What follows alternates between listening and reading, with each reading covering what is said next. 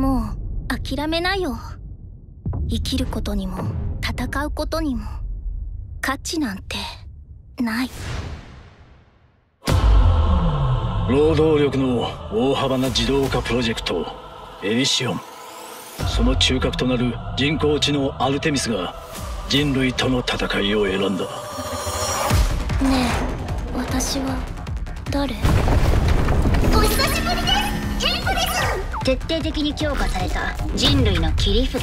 人呼んでブラックロックシューター。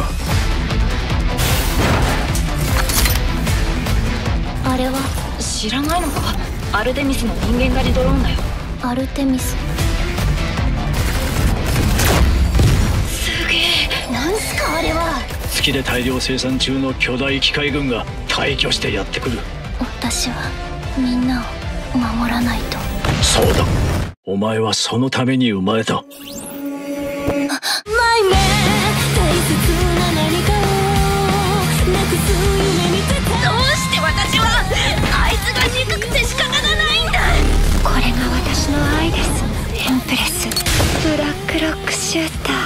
今ちょっとだけやり方を思い出した。私